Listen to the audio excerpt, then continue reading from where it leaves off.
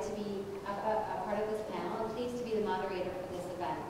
Um, the Career Conversations panel series is sponsored by York University's Alumni Relations, and we'd like to thank them for their generous support. We would also like to thank the Center for Student Success, Faculty of Liberal Arts and Professional Studies, for partnering with the Career Center to host this afternoon's panel. The purpose of the panel is to provide you with inspiration. Really hope that you that hearing the career stories of these professionals will help inspire you along your own journey. We're also hoping that it'll provide you with some insight and advice so that you can learn about what it's really like to become an entrepreneur and how to get started in your career.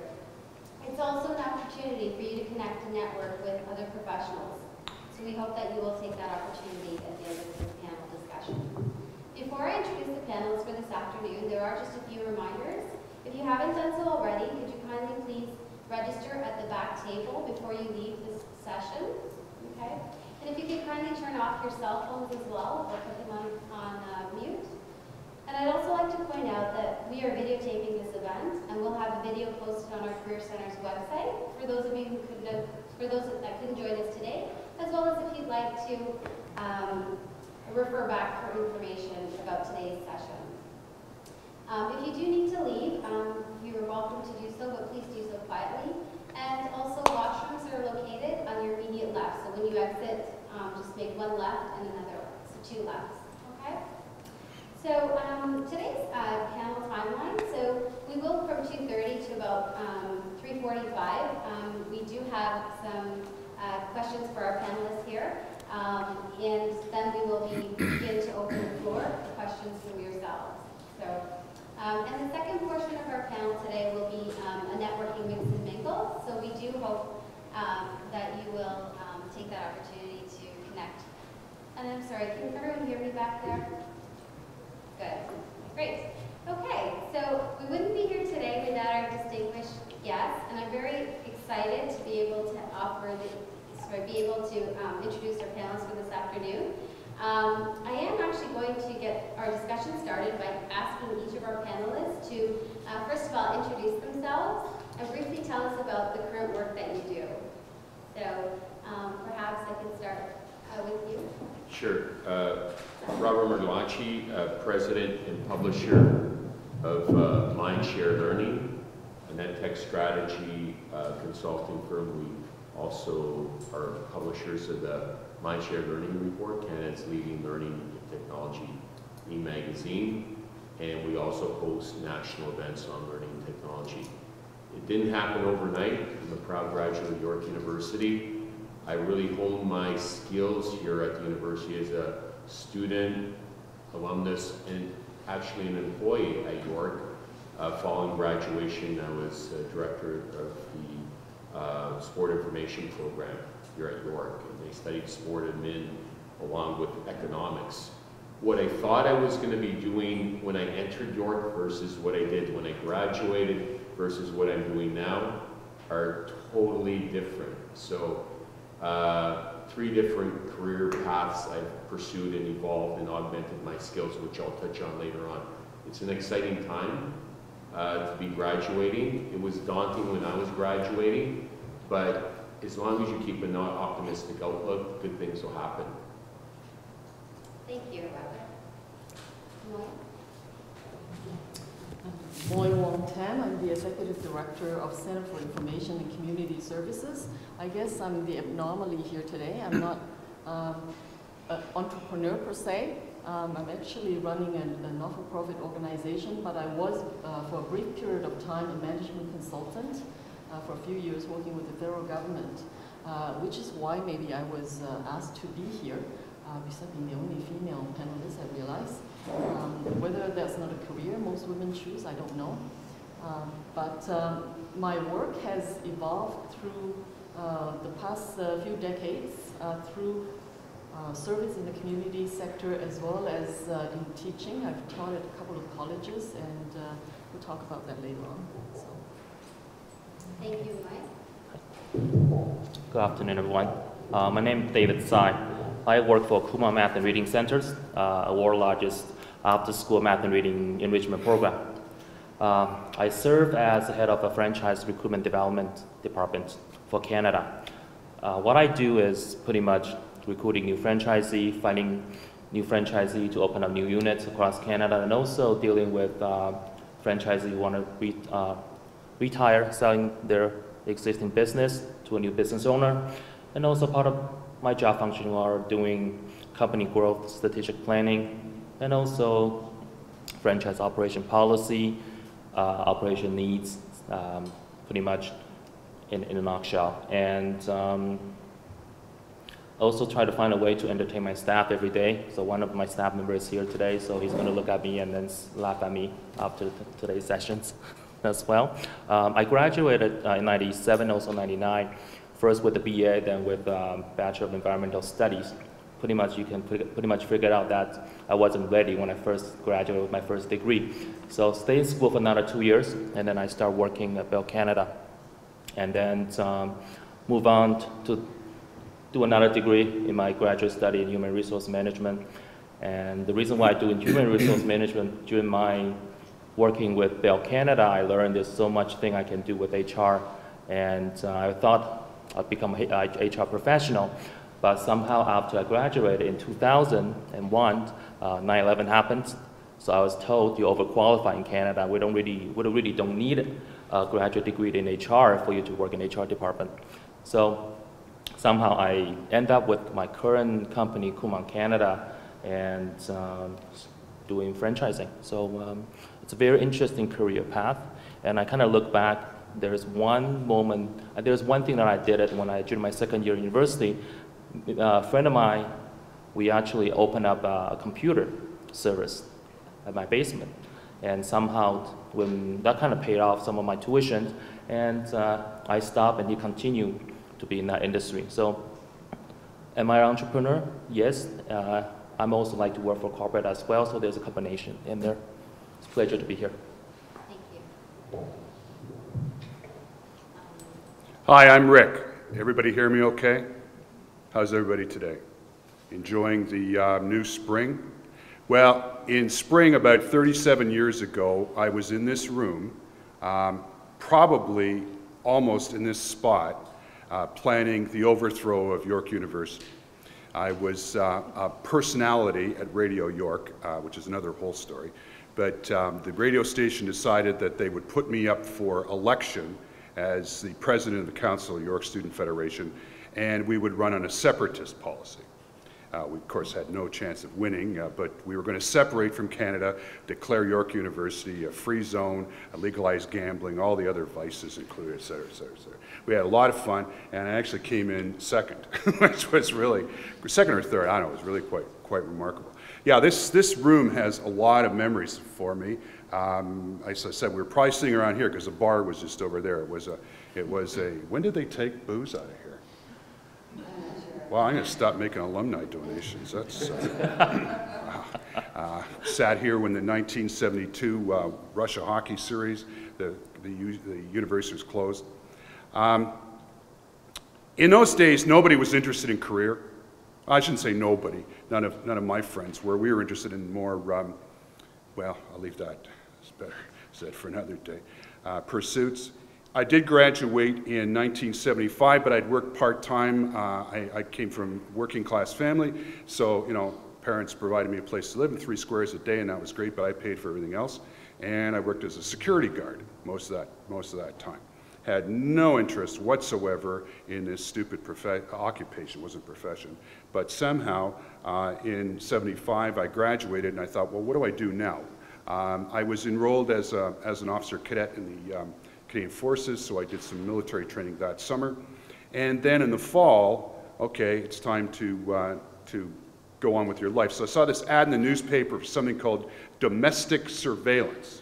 Anybody have any idea what that was? No, of course you wouldn't. It Was divorce work. So what I did was I um, sat in a car uh, outside people's houses and um, watched them cheating on their spouses. Fun? Wow. Um, I had this, I had this bizarre notion, although I didn't have the brains for it, to become a lawyer. Um, but I never pursued that because there were a lot of lawyers I eventually ended up working for doing criminal defense investigations who uh, left the profession, and uh, one guy opened up a chain of sandwich shops in California. So I hope he's doing very well. He was a good guy. But at 21 years, 22 years of age, I was running around doing homicide investigations, drug work, uh, things I had no idea about. I thought this was really, really neat. Since then, I've, I've held several corporate positions uh, with security. Um, I was um, corporate security, security manager of um, Northern Telecom, um, which then became Nortel, which then became nothing. And we dealt with spies and terrorists and all kinds of uh, all kinds of other neat people. I'm, I was a commissioned officer with the Canadian Forces Security and Intelligence Branch, uh, and if I tell you any about, about that work, then I have to shoot you. Um, I then owned my own company, which was known as 1440, and it was a private investigation firm that specialized in um, intellectual property protection, counterfeit T-shirts, watches. Uh, most of me is fake. Um, and one of the big jobs, contracts I had was with the distributor of Cuban cigars in Canada. In the 90s, everybody had to have a Cuban cigar. They couldn't afford them, so they bought fakes. And I ended up um, having supper with Fidel Castro, me and about 150 other people in Havana, but that was quite a quite an event too. It's quite a story uh, associated with that. Two and a half years ago, I sold my business. Um, now I still do some consulting. Um, one of one of my gigs is with this company, Northwest Protection Services, and um, I've been heavily engaged in recruiting people for this company. And if you're interested um, in, a, in, a, in a good job that could lead to um, to um, the same kind of career path as I, I was in, speak speak with me. Um, I still do some private investigation work, but I'm kind of, um, kind of um, restricted in what I do. I do some writing, and uh, my favorite color is green. Thank you, Rick. Sounds like an interesting background. Some of it's true. Um, We'll have to decipher what is and what isn't. Um, And I'd like to also introduce Malcolm to you. Thank you. One question. 1440. Oh, it's a good. Do you want to hear this story? It, it's not that long. Okay. Um, I, I, the, the only aha moment I had in business was about three o'clock in the morning when I decided to to take the plunge and, and get into business myself as an entrepreneur. And um, I thought, what am I going to call it? I, I don't have an ego to call it Rick Leswick and Associates or whatever. So I remembered the guy, this Northwest Protection Services. I was renting a room about the size of a phone booth and they had a telephone number. It was called their hello line that was answered 787. Uh, it was called. It was 787 1440. They answered at 1440. I thought, aha, that's going to be the name of my company. And we subsequently found out that there's 1440 minutes in a day, and so great for the PI business because we snoop all the time. Thank you for asking. a Isn't that interesting? Figure it out on your uh, things. 1440 minutes. Okay. So, uh, my is Malcolm. I uh, own a company called Projects Canada. Uh, by profession, I'm a project manager. I graduated York in 94 uh, with the, the very practical degree in philosophy and sociology. And, um, uh, you know, had immediate aspirations that I would get into the professional work world with large enterprises. Um, I've worked with uh, quite a number of companies, both as a full-time employee and for the last probably four years, I guess, um, as an independent uh, consultant. So I worked with IBM, Toronto, uh, Toronto Dominion Bank, National Bank, Bank of Montreal, currently with, uh, with Rogers uh, Communications. Um, as a project manager, uh, my specialty is in complex systems integration, so I'm on the IT side of uh, the universe. Um, but you really have a, a unique opportunity in, in this profession to, to specialize in what you want to specialize in. There's a wide variety of roles in, in any given projects, in any given project, and there's a wide variety of industries with different types of projects, construction projects, application development projects, et cetera, et cetera, et cetera. Um, so for me, it's a fascinating, uh, a fascinating field um, in that it, it really allows you to interact with a wide variety of individuals, uh, different types of technologies, different types of business problems. And it allows me to keep active in, uh, uh, from an academic perspective. There's a, a complete certification curriculum associated with project management, and that's something that's been interesting to me. It's a constant uh, um, evolution in my skill set and, and uh, continual development of myself as an individual as much as a, a professional. Thank you. My name is Victor Cizmarik. Uh, I graduated from York in 2005, and uh, prior to founding the two corporations that I manage today, uh, my only aspiration in life was to become an NHL hockey player. So for about 20 years, I uh, played competitive and professional hockey. And unfortunately, after a lot of struggles and many bumps and bruises, I had to transition into something that really came naturally to me, and that was uh, working in, in the business setting. Uh, today, I uh, oversee two businesses. One specializes in management consulting and software development for particular verticals, uh, such as parking, airport maintenance, and healthcare services. And the other one is a startup about four years in the making that called uh, Universal Medical Systems. And um, that particular build, uh, organization has a single flagship product called MediPal, which is a unique drug prescription management system.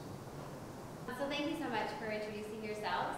Um, I know some of you shared some of the pivotal or unexpected moments, um, but I, I wondered um, if anybody wanted to sort of expand and, and share what were some of the you know pivotal or unexpected moments that sort of set your career in motion. Hunger. Fear is a great motivator as well. When I, I had the good fortune of, uh, anyone watch Dragon's Den? Kevin O'Leary on Dragon's Den, the really mean guy. I worked for him for almost three years. Um, after leaving York, I segued into the educational technology space. I had a real passion for learning and I saw technology as the future. Didn't know a lot about it, but I saw it as the future, so I launched the Learning Company School Division.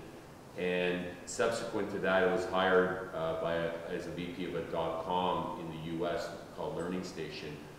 And when that crashed and burned, I uh, was kind of left wondering, what do I do with my career now? And I had been part of a leading brand that was acquired by Mattel, the learning company, where Kevin made all this money. And uh, so, and then experiencing kind of a whole new emerging space, which is known as cloud computing a dozen years ago. And uh, it, at that point, it was referred to as ASP model, application service provider model. And uh, so I actually enrolled in a careers as um, consulting as a career option through the federal government. I thought, I've never tapped into the federal government for anything, so I paid enough in taxes, and I, and I ended up taking this six-week course on, it was like a mini MBA that kind of launched my consulting career uh, as Mindshare Learning, and, um, and then further to that, I augmented my skills with a master's in educational technology at Pepperdine in California. So that was transformational for me when I was, you know, in the crunch looking to what am I going to do now situation, much like you're in now where you're kind of maybe graduating or have graduated. And I think being here is your first step to success in looking in, at, at this space as a career, entrepreneurship and consulting. I never anticipated I'd go down this path, but having control of your destiny when you're running your own business is pretty compelling, but it's it is very hard work. And I think for those who run their own business, it's you know spending you know being up till 2 8 p.m. is not uncommon uh, working on a project. So with that, I'll pass the time over. You know, I, I, uh, I think you, sorry, I think you hit on something really key. There's one theme that sort of resonates uh, through everybody's story to a degree, and that's having a situation that changes or where you change and decide you want to do something else and recognizing the opportunity and, and making the jump. Um, in, my, in my own case, when I was a student at York, after I graduated with a, an undergrad degree, I was debating between getting into the professional world and, and carrying on uh, in academics. And I actually did a semester in, uh, at Osgoode Hall uh, before realizing that my childhood dream of being a lawyer and a criminal lawyer uh, wasn't what I wanted. And I recognized it quickly enough to make a jump and get into the profession. Responded to a tiny little ad about yay big in the newspaper um, and landed a, a, gig with IBM. Um, and you know, the, the, the jump into project management was a similar, uh, a similar experience meeting opportunity or interest meeting opportunity, kind of a, a turning point. Uh, I was actually working in a technical capacity on a project when the, uh, the management team that I was working with recognized that the product we had, uh, we had deployed was becoming a de facto standard, and they didn't have anybody who knew the product well enough to roll it out to other business units that were interested. so the technical team that implemented the project was ultimately the project team that went on to roll it out across North America and then globally through IBM. Um, at the time, it was a breaking edge technology called Live Assist, and, and we see it now on virtually every website where there's a call me or a text chat button. Um, but uh, our little project was the first to do it in IBM and integrate their, their call center environment with their websites. Um, and it, you know, it was really just a fortuitous moment and, and opportunity in recognizing here's a, a chance for change and here's a catalyst for change and jumping at the opportunity, So seizing it. seizing the moment. Um, and I think you also touched on a lot of, um, what we also often, um, share with our students is we're, we're living in a mobile market, right? And so, um, it's, it's not, um, it's very often that students will pursue one degree, but then often, um, their career path will, will take many different directions. And, and you can see that from some of the experiences that you've already shared. Um, the question we have for you is, um, there are all kinds of statistics um, that indicate a large number of small businesses um, fail in the first few years of operation. So um, what type of advice would you have for students and new graduates who are considering um, becoming an entrepreneur or consultant, and, but are concerned about the risks involved and the perceived lack of um, job opportunity or security? Does anyone want to take that question Uh, first? I'll take a stab at it. Sure. Um, I, you know, I think we want to start small. I think, you know, my advice to you would be, you know, be conservative and don't try to go big, too big, too quick, because I suspect that's why a lot of companies fail.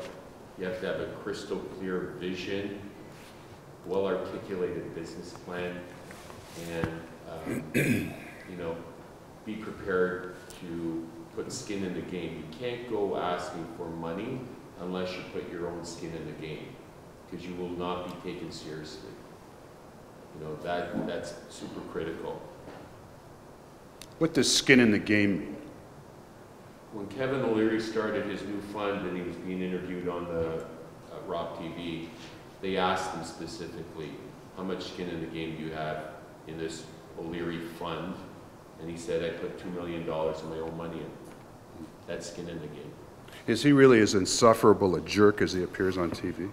It's a, it's a bit of a shtick, but he is a tough, tough guy. And uh, I learned a lot about business and how not to be like him in many ways. Excellent. And by the way, I'm tweeting about this if you want to follow me, at Mindshare Learning. Can I add on some more points? Yeah. Uh, one other thing that you need if you want to start up a business is the network. Like you can't really say, I have a great idea, I want to do something, and you jump into it. And without people knowing what are you trying to do and what are you selling or what kind of service you're providing. So you have to, you must have a very clear vision for your own business or your own consulting uh, services that you're going to provide. And try not to, you need to develop a very thick skin go to a network uh, event, network meeting, like today's event would be a great opportunity to learn from other people and also learning. You need to constantly learn and then to improve your own competency and also your own skills. You might hear something today and you might be able to use it the other day. And that's going to help you in the long run. Thank you. Do you often um, build an NA team around you? So as, uh, do you consult with other experts um, within your field? Um, How do you, how do you ensure when you are um, putting a proposal forward, do you get, um, do you seek advice from others? And, and, you know, who are those potential partners? Share something from the social service sector? I think there is actually some similar- similarities. We're also talking about social enterprises these days. Uh, I think in addition to having a clear focus, your own plan as to what you want to achieve, your goals and, and, and your work plan, you do need to network. In addition, you need to keep track of the trends that are happening in society. Um, what are the new trends? What are emerging trends? And you not only network with people who are um, in your field, sometimes it's good to network with people from totally different field because that's when you can have interesting things happen, um, like uh, collision of ideas or, or um, interdisciplinary exchanges might just create something, a, a new spark that you haven't thought of. So if you want to be innovative, I think innovation is key these days. Um, many things have been tried before. Um, for, for you to uh, stand out from others, I think it has to be some innovation, innovative ideas that you have or innovative ways of delivering the, a service that will put you apart from the others. Thank you. I can also add to that, and I'll answer the previous question as well. Uh, When I look at Just an asking. Yeah, when I look at being an entrepreneur, I, I take a little bit of an unorthodox approach. To me, it's a matter of probabilities. So I don't put all my eggs in one basket and focus on growing one business and establishing one idea. Over the course of the last 10 years, I think I've started probably 20 different businesses. Uh, so in, in my opinion, I, I would say the probabilities on your side, the more ideas you can generate and the, the way that you think about creating and, and funding and growing the different businesses. And that naturally takes you to the, the, the second question, which is, do you surround yourself with A-type personalities or great people? That's really the basis of any great organization. Uh, so as, as you, you know, think outside the box, you come to determine that you by yourself will never be successful as an entrepreneur or as a businessman. It's always a matter of establishing a network, network of individuals that have a particular skill set or an expertise in a vertical, for example. And that, that's, in my opinion, what will make you successful. But being an entrepreneur is really secondary to being an innovator, and the more ideas you can generate, the greater the probability that you will succeed. Thank you. If, if I, if I could just uh, add to that, excellent points. uh, And, uh, you know, innovation is key and, uh, as well, and following your passion.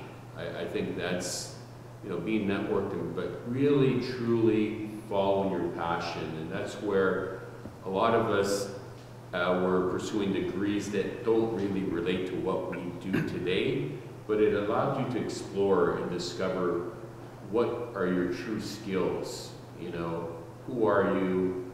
Where do you want to go with your life? And if you find something that you're really passionate about, I was passionate about being a hockey player as well, and I thought I was going to play in the NHL when I played junior level.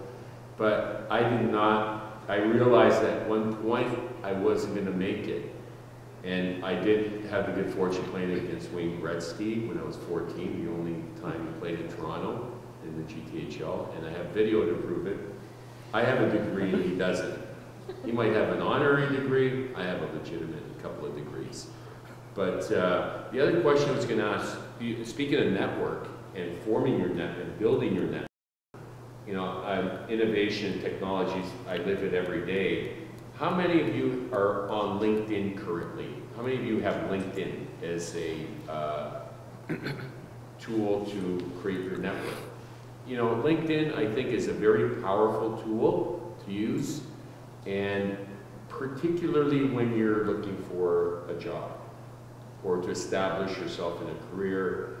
Uh, I get pinged a lot on LinkedIn. I'm selective. I don't link with everybody randomly, but you want to build a presence online. How many of you have a website? Your own personal website? Really, the future is that's your digital portfolio to amplify your message and really tell the world who you are. And, you know, our website is mindsharelearning.com. We just refreshed it recently. And it's an ongoing effort to keep it fresh, keep it current, stay current.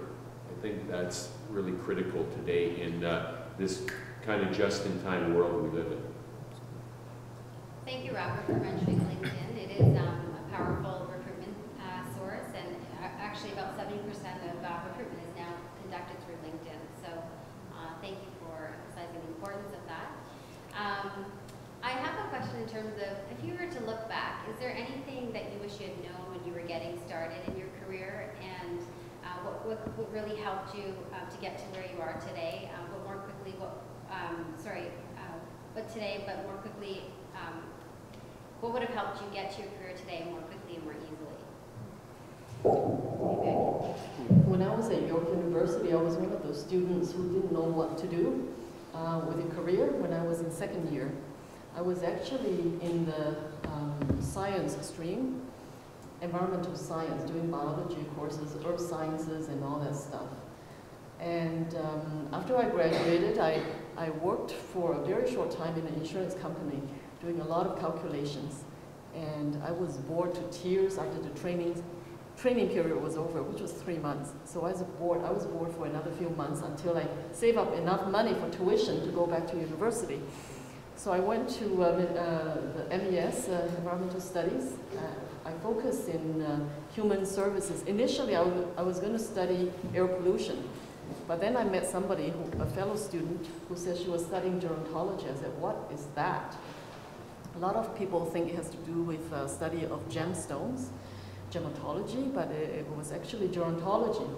And after I talked to her, I, I found a summer job working in a nursing home. After that, I realized that I really loved that. So I switched completely to human services studies, uh, study of health uh, and, and elderly, so management of healthcare facilities and so on. So I think getting to know different workplaces because what you have in mind um, in abstract may not be what you want to work in. Um, at that point, I was still interested in working in a nursing home um, at some point in my career. So I was actually interviewed to be executive director at one point, but I was 26 when they found out how, how young I was. They didn't want to hire me. Um, they thought it was too much, too much responsibility for a 26-year-old to run a nursing home. I was rather tipped, uh, um, not too happy about that. But it just turned my career on a different path altogether. I, after I graduated, I landed on a job in Regent Park, uh, working with seniors in a community setting. And uh, I loved it. I got to see the underbelly of Toronto. Um, I really understood what some seniors' lives were. Um, you can sort of foresee if you don't do certain things or if you do certain things, this is how you're going to be living when you're 70 years old or 65 years old. So it was kind of eye-opener for me. And um, after that, I, you know, I, I, ended up in race relations by accident, sitting on the mayor's committee and becoming the co-chair of the mayor's committee on uh, race relations. And that somehow got me off to another job. I took me to Ottawa, working for immigrant service organization, which I never thought I would do because my focus was gerontology. Remember, my passion was, you know, health, uh, basically uh, caring for the elderly. So it, sort of turned around, but it's still working with human beings, just a different age group. So they're transferable skills. So it's good to remember nothing is really wasted. Uh, they're transferable skills working with seniors or working with the immigrant group is the same skills. Running an organization, the admin skills are the same. And then through that, I ended up on the Royal Commission as one of the part-time commissioner on the Royal Commission on the Systemic Racism in the Ontario Criminal Justice System which got me into many prisons in Ontario, which is another eye-opener.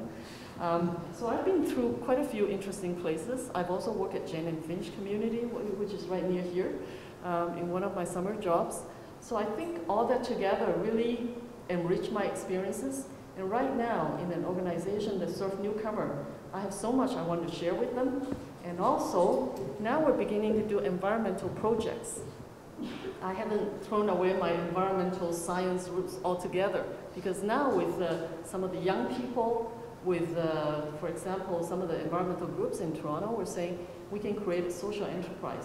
So we're thinking from gardening to uh, probably food distribution or down the road, a kitchen, maybe running a little um, caf cafeteria. So I might still get into business yet. So we're doing social enterprise, so everything is really interlinked.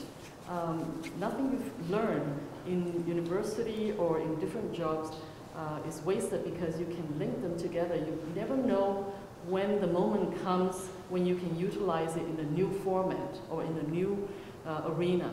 So just want to share that. You know, we don't want to be too compartmentalized. Many things really can flow together eventually or at some point in time. Thank you. Would anyone else like to um, share? The, I- Moy, I think you hit on a number of, of really key things. I don't know if I'd say that, that there's something I would have done differently looking back, but looking back, one thing that, that i- has been a constant in, in my professional uh, life has been a service, uh, an orientation to working with people and being of service to other people. Um, from humble beginnings as a waiter through to working uh, in a professional, uh, in a professional capacity. Um, I think that that service orientation can be key. And, and so I guess if I generalize from that, I think there are certain attributes that you bring as an individual that are unique to you, that you find motivating and empower, uh, empowering. And recognizing what those things are and how to put them to productive use um, can be a real differentiator for you. You'll specialize and potentially find something that you're a lot more interested in, you get a lot more enjoyment out of. And that is a positive cycle to it. Um, I think a key is adaptability in, in every circumstance, recognizing when it's time to change, recognizing when, um, uh, when there's a great opportunity in front of you, and learning how to deal with change. And uh, in, in my experience, and I don't know if yours is the same, I don't think that I was taught growing up how to deal with change. You're taught to deal with a lot of different things. There are a lot of uh, professional skills that you can pick up.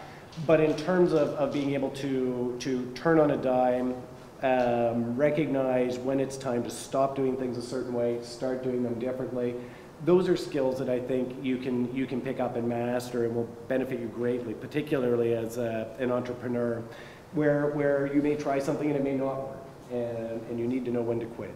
In project management, you need to know when you've sunk enough money into an initiative and it's time to stop um, and, uh, and go and, and focus on something new. Uh, so I think that those are some of the key things that, that I picked up over the years.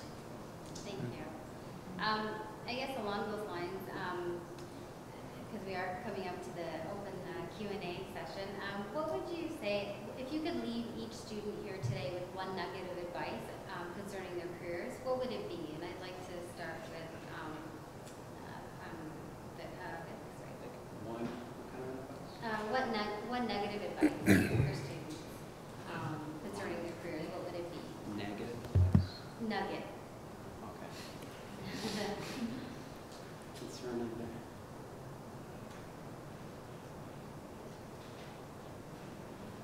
Uh, That's a very tough question to answer. I mean, there's so many different key variables to building a character and creating an individual that's going to be successful for many, many years to come in whatever field that you choose to participate and work in. But I, I, I'd say what worked for me was the fact that I constantly try to persevere and, and you know, be motivated about just seeing tomorrow. So I'd say perseverance, and it's it's a trait, it's a characteristic that I don't know if you can learn yourself or, or if you can study and, and obtain. But um, I think perseverance. So ne- never quit, regardless of you know what the obstacles may be. Create a vision wall and have that be a reminder every single day what your end goal is. Thank you. Um, I think I would, I would, um, I would say build and, and cherish uh, the relationships uh, around you. I think that that's really critical. Um, and it's amazing how they will come back again and again and again through your working life. Um, and maybe we call it networking, maybe it's simply just uh, uh, establishing effective relationships. Uh, that's really been absolutely critical. And in the course of the work that you do with people and, the, and the, the relationships that you do establish, be careful with your reputation. Um, your professional reputation is, is critical and it will precede you. Uh, people will remember your work uh, and the quality of, of the relationship that you establish with them long after they've forgotten the specific piece of work that you did. Thank you. Rick? Okay, well, I'm going to probably um, be impaled when I leave here, but with all due reference to my colleagues here who are, who are um, data people, I think you got to turn this off once in a while, okay? I really do. My business is people oriented. I have never hired anybody by LinkedIn. I've never, I've never, I bought this two weeks ago, okay? I'm serious. Lived without it quite well, all that time. I had a, I had a cell phone that uh, the kids used to laugh at, say it was a museum piece, okay? Functioned quite well with that. Um, I'm not proud of being a data phobe, okay? I remember when I was at university here, talk about nerds. There were guys who were beat up regularly, carried around, remember, stacks of cards and things like that, okay? Get rid of this once in a while. Develop your people skills, okay? When I hire somebody, when I contract business, I want to talk to them. I want to see what they look like. I want to see how they react. You can put all kinds of bullshit on this thing, okay? Put it away. You know, there's going to be a whole, I, want, I, I should have gone to chiropractic college now because there's going to be a whole um, uh, business in, um, you know, Megan and Jonathan doing this all the time, okay? Their shoulders are going to be down. Relax, okay? Um, I got about 200 emails in the last uh, two days. One of them was important.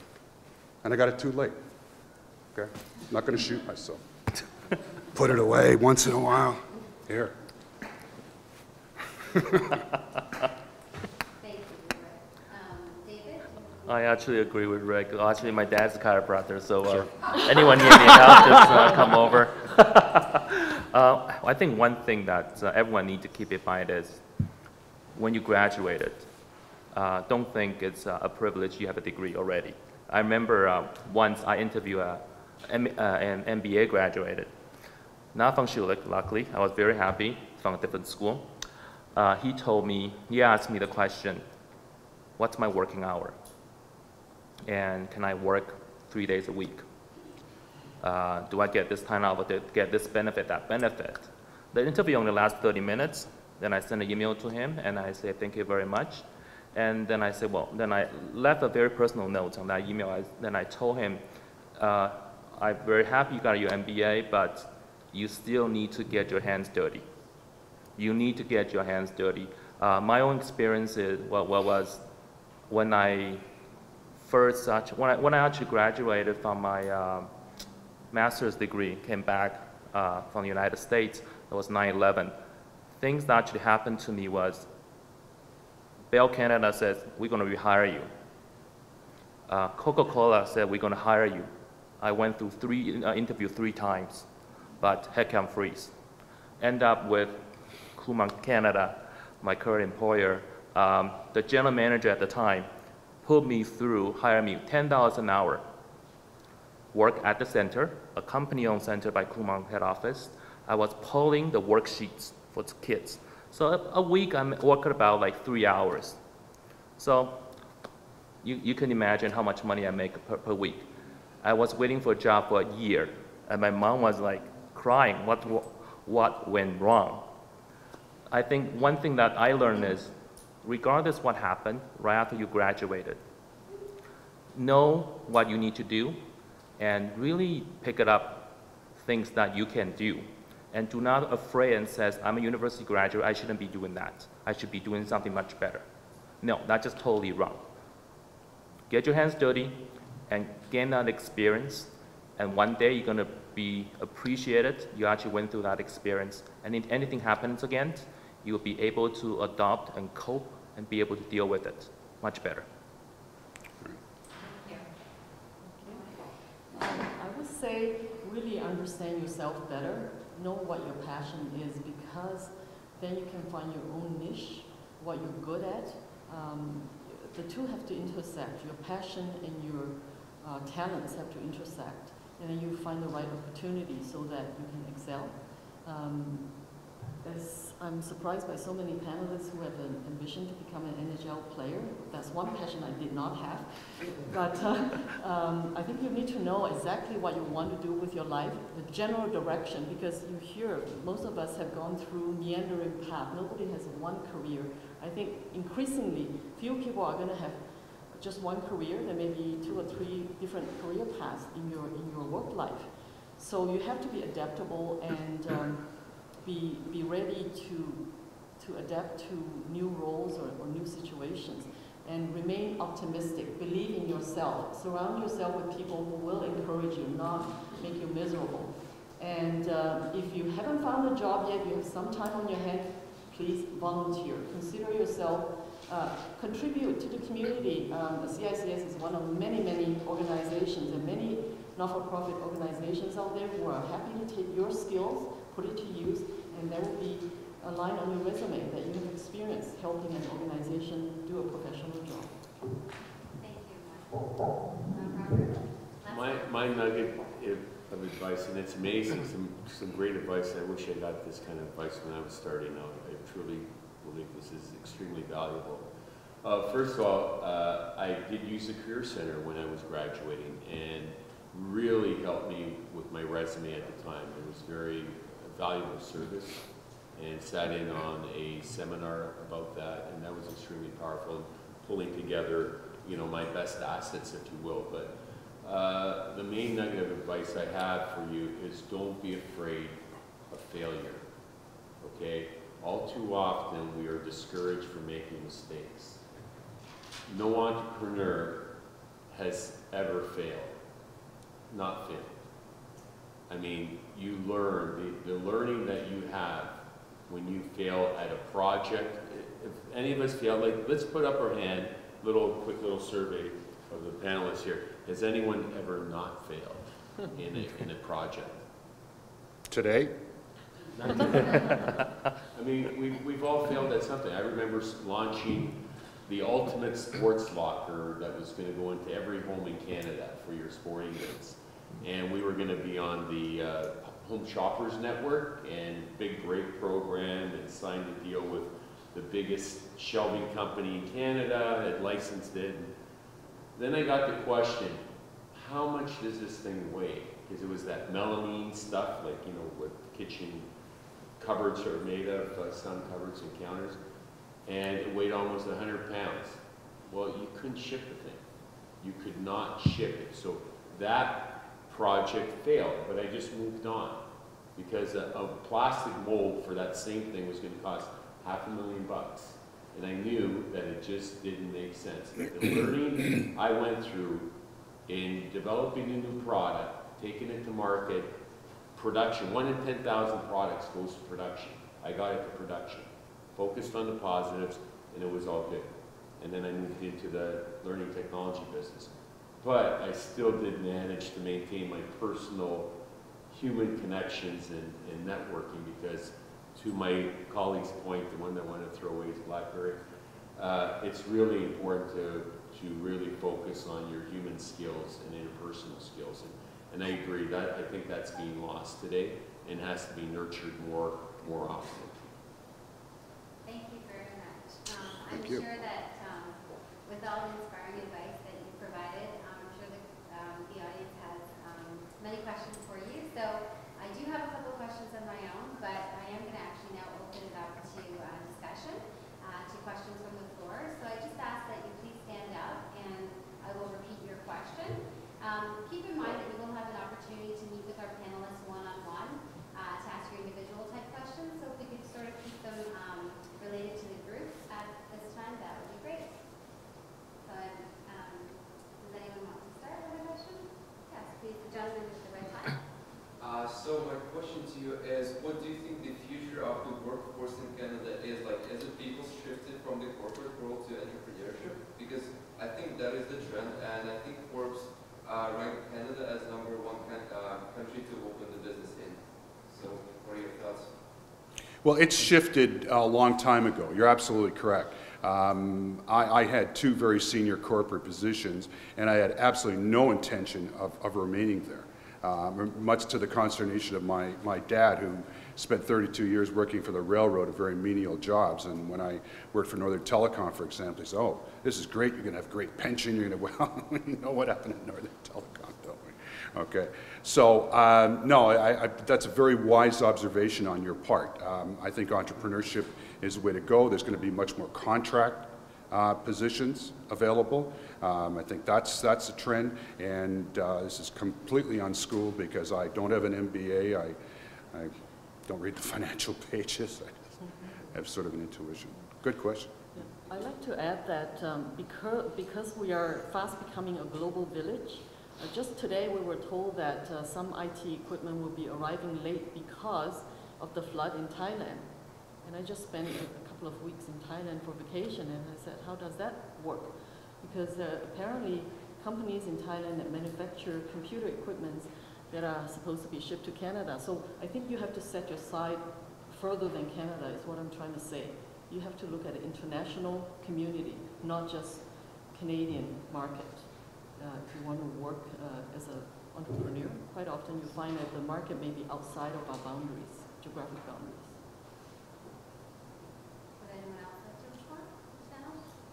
Ms. I- You know, Canada is a great place to do business. It really is. We're very fortunate to live in this country that is probably one of the most stable economies in the world. And uh, to that point about Ford, Forbes ranking Canada number one, a lot of my clients are US based and they want to come to do business with us in Canada. So we're very fortunate that way. And there's some great programs if you're looking to start your own business, uh, seminars you can take, do your homework before you start your business and have an expertise and focus uh, because it's competitive. It's a competitive landscape out there, but if you're laser focused on a, on a particular product or service and know it inside out and have the expertise, you can, you can be successful at it. That's why we launched, uh, from a, you know, EdTech Consulting, we launched a national e-magazine in Canada that's now the leading publication. We do podcast interviews, video interviews, and we carved out uh, a niche because it didn't exist. Okay, it didn't exist, and we created it. So you, you pick your spots and look for opportunities. Thank you. Um, Um, I have a question, so I know mentioned you have different career paths, um, do different things. And uh, in your career path, how did you uh, realize, you know, that's a moment you need to make change? Like, did you know, did you make change and then change your career, different jobs? So for those of you in the back, perhaps who didn't hear, the question was, um, correct me if I'm wrong, the question was, um, you know, our panelists have experienced different career paths, and what was sort of that moment or um, that encouraged them to make that change? Well, I got fired regularly. I know you find that hard to believe with this sterling personality of mine. But uh, firing was not a bad thing necessarily. Uh, every time um, you just tried to pick yourself up and, and uh, go forward. So, like if somebody said something about failure, uh, absolutely, you know, there, there, there is no failure. I don't know if I would contribute it to my ADHD or the fact that perhaps in my first 26 years on this planet, I've moved 22 times and it kind of became innate. But, um, you know, there are individuals who look forward to change as a new beginning, new opportunity, and those that prefer, you know, like even keel. If I think back, uh, in my experience, sometimes, uh, sometimes I've made a conscious choice and, and had the TSN turning point where I recognized that this isn't what I want, this isn't rewarding to me anymore. And um, other times, it's been the people around me that have recognized an opportunity or made an opportunity available. And so, listening and, and being aware of those opportunities can often give you insight that you may not actually recognize. Um, moving into project management was actually the, the wisdom of uh, my direct manager uh, at the time, who put me into the position before I knew I was formally actually becoming a project manager. And it just so happened that, uh, that it was an interesting opportunity, rewarding to me, and it, and it was the catalyst that moved me. So sometimes you choose it, and sometimes it chooses you. Um, and I think it, it's a matter of just being adaptable and open to the uh, possibilities. Thank you. Are there any other questions? Yes. Yes, hi. Um, I'm more interested about consulting. So, and I understand like all of you came into consulting from different like fields, like not directly. So my question is, is it worth to go like straight after like in university into consulting, or it's better to go and take a head journey and then go back to consulting? I'll take a stab at this. What is it that you're interested in consulting on? Like, what's your core expertise? For expertise, uh, management consulting, no. So, you, are you a graduate? Like, what, what's your Third year, third year in what? Uh, finance and business economics. okay. So what I would suggest to you is you probably, if you, if you are serious about that, try to get a part-time job working in that field now in advance of graduating because you can't graduate suddenly and become a consultant, right? You, you just, who's going to hire you as a consultant, you know, right? You have to have an expertise. Uh, if I need management consulting help, I want to know that they've got that expertise, right? So I think that's really important to be mindful of, is that it's a roadmap. You know, I have people that work for me who start and they want to be a digital marketing director, but you just started.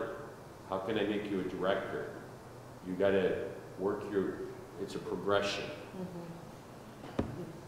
Yeah, uh, I, I'd like to echo that. I think most companies that want to hire you want to know that you have um, hands-on experience, like you said, get your hands dirty first. I was actually, my first job was a director of a seniors department, but then I had summer job experience, uh, working for, uh, you know, $3 or $3.50 an hour in those days. And uh, I have some experience working with, with seniors. So when I graduated with a graduate degree, I was made a director of a department. And not a huge department at the time, but uh, at least I have some experience. So I think you need some work experience in order to be ab- able to advise others because they want more than theoretical knowledge. I get the New York Times on Sunday. It's the only, the only time I, I get the Times, and I play a little game in the, did anybody read it on Sunday? Sometimes worthwhile. Um, nobody? Oh, start reading the New York Times, okay?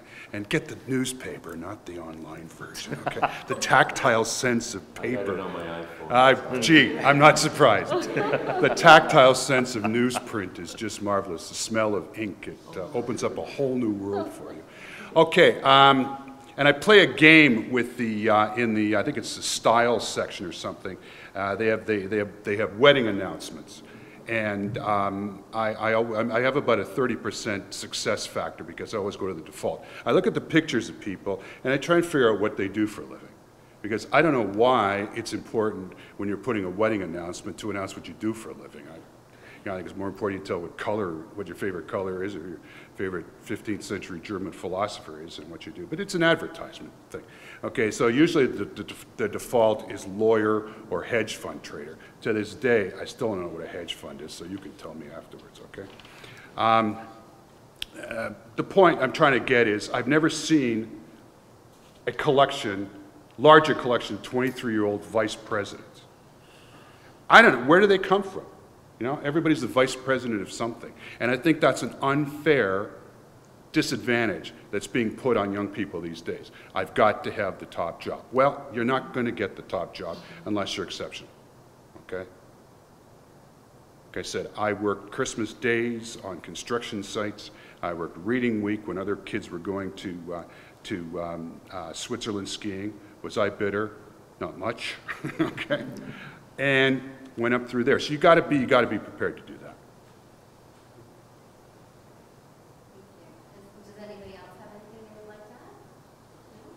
Okay, I think we have time for one more question. We would have.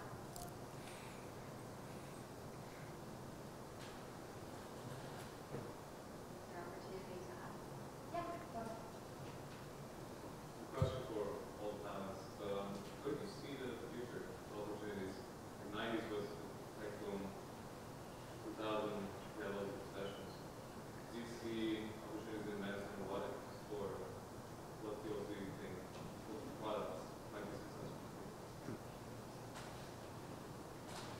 So for those of you, the question was, um, for each of the panelists, um, what do you see for the future in terms of, I guess, the industries, um, where that, um, students look forward to that, um, I, I can take a stab at that.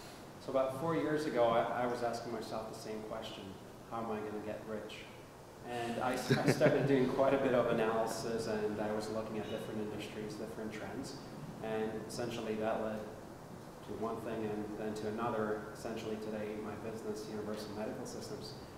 And through research, I've identified that the population is getting older. Their baby boomers are, you know, getting past the 50 uh, age group category, and there are going to be tremendous needs that are, yeah, there are going to be tremendous needs coming from that particular group. And uh, innovators, entrepreneurs will, you know, be finding out ways to satisfy those needs. So in my opinion, you know, healthcare services pertaining to that nature.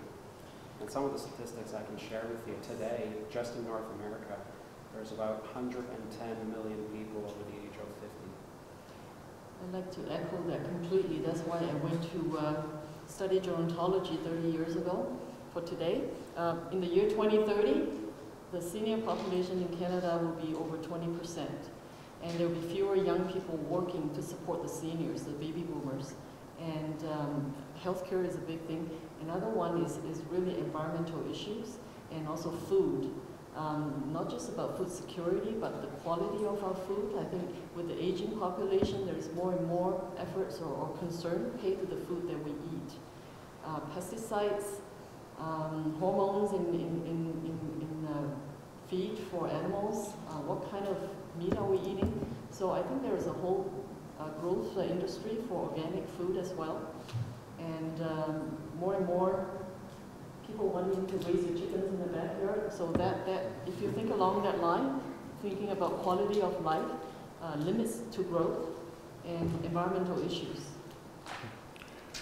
Okay, my, uh, my industry is the second largest growth industry in, in North America. It's a very invisible industry, though, and it's thought of as being a low level, low paying, low, low motivation um, um, career. And at the entry level, it's all of those, satisfies all of your, all of your menial um, uh, requirements. However, it's growing phenomenally in all areas. And, and as much as I, as much as I uh, smugly claim to be data phobic, I'm a dinosaur. It can't exist that way anymore. Okay, more, more crime is being committed online. More and more crime is being committed through, through the electronic um, network. Yesterday, I had, I had lunch with a very, with a very senior partner of um, Bay Street Law Firm. Um, really, really bright man who uh, you know, carries around more in his pocket money-wise than I've ever earned in my lifetime. And he was telling me about how important, um, because I'm getting back into business, in, private investigators are because of the limited kinds of support they're getting from the police departments. Okay? Police, the RCMP has one main mandate these days, terrorism. Okay? To me, I think it's ridiculous okay? But it's the sexy, it's a sexy crime. Everything else has to be related to terrorism. I did intellectual property protection, piracy. The only reason we got the, the horsemen involved in these things, uh, gee, it's going to be on tape, okay, because it'll be outside my house tonight, is trying to relate it to, to terrorism. And we, we found that there was organized crime, crime elements who were funding their terrorist activities through the sell, sale of counterfeit products. And that is absolutely true. Okay? So my industry has huge potential. Forensic accountants, um, they're, they're, they're going to be the, they're going to be the new gurus in our business. The technology, um, um, I go to an annual conference um, of security geeks in the United States. I've been for a few years, but if you can imagine the, the floor of Skydome times two fill, filled with security products, that's it. There is actually an alarm system now that comes in an aerosol can you spray an alarm system. Okay? Like this stuff just blows my mind. All right? But there's still the need for the guy in the car to watch the warehouse at night. Okay, and I did that here at York University not too long ago to see if people were stealing. There's still a need for the guy to take a statement from somebody about a really horrible incident where you have to show empathy, where you have to, where you have to um, relate to that person. Okay? So you know, if you're interested in, in, in, in, in that, that area, I don't know, is anybody interested in law enforcement or whatever, come and, come and speak with me afterwards. Thanks.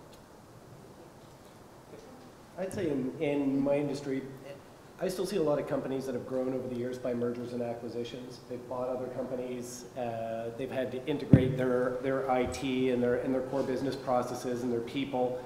Um, and, and so there's still a, I still see a lot of opportunity in, uh, in the area of helping companies to deal with those business problems. How do you rationalize two uh, similar or dissimilar businesses that have come together and harmonize them so that their IT, their process, everything works together? The companies that, uh, that I've worked with uh, range from uh, telco industries to high-tech companies like IBM to financial services. And the one unifying problem that I've seen across all of those industries is nobody knows how to deal with their data. Um, they, they don't have a good handle, generally speaking, on their products and on their customers. The companies that have excelled in, in those areas are the Amazons of the world, the Googles of the world, the Facebooks of the world. Um, they've mastered the data. They've mastered the information that tells them who their customers are. I think the, the companies that, uh, I think there's a lot of opportunity in the area of e-business intel, uh, business intelligence, data analytics, data warehousing, um, and those things that give business a competitive advantage uh, in terms of being able to better take the products or services that they sell and identify the right set of customers at the right opportunities. I see that as a real growth area. I'm sorry, my, my friend here has just introduced three areas which we're integrally involved in. You, you know, again, you think, if you watch too much TV, you think all private eyes do is drink a lot of beer and chase women. Competitive intelligence is an area that I got involved with, with major corporations. It was a hard sell because it was, uh, there's a fine line between corporate espionage and competitive intelligence. Protecting your information is protecting against corporate espionage. I told you I was the corporate security manager in Northern Telecom in the, in the 80s. We were dealing with spies. It's just being revealed now that the uh, Chinese security services infiltrated Northern Telecom. I can tell you that's absolutely true. Okay, no doubt about it. We knew about it in the 80s. All right, so that's um, that's true. And what was the other thing you talked about? You talking about Uh, Business intelligence. Uh, protecting your data. uh, uh, well, definitely protecting your data. Okay, great. Online learning and lifelong learning is uh, growing at an unprecedented rate. The University of Phoenix Online has 300,000 online students. Uh, In Canada, it's at its infancy.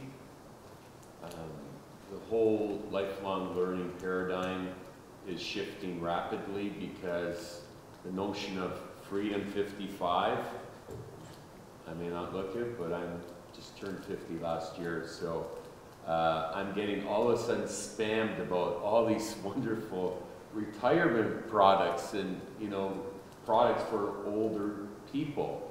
A bit offensive, I might add, but, you know, I still play hockey. I'm on the ice four times a week because I coach my daughter and I play with my kids as well, my- my boys, and it just, you know, the whole uh, aging population, there are a number of different industries that have been referenced here that will require huge amount of service and support. So wherever you think you fit in best, whether it's if you are, have a kinesiology degree and you want to be a personal trainer and start your own personal training business, that would be a good business, you know? But, you know, lifelong learning and online learning, you're going to have, what's the estimate, five-day careers in your life? Five-day careers. So don't, don't think narrowly uh, for one career path because you will be doing many as we have up here.